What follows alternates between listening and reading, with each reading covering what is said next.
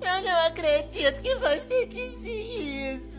Bom, você me desculpa, mas é verdade. Você é um insensível. Tomara que os humanos te destruam logo. Aí, quem tá pegando aí, gente? A Terra fica dizendo que eu sou sem graça e entediante.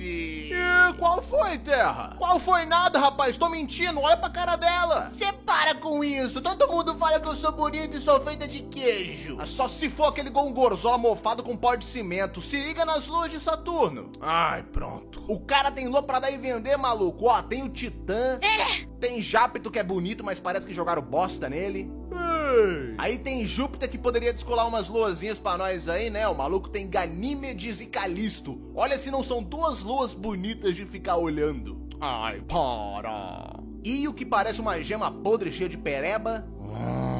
E a Europa, que tem água e ainda pode ter vida, rapaz. E leva esse nome de Europa. Imagina só morar em duas Europas e você aí com esse papo de ai, Porque todo mundo fala que a lua é feita de queijo. Ah, então me esquece e bota outro no meu lugar. Adeus. Isso, vá, vá procurar tua turma aí, rapaz. Eu, hein, vê se eu ligo.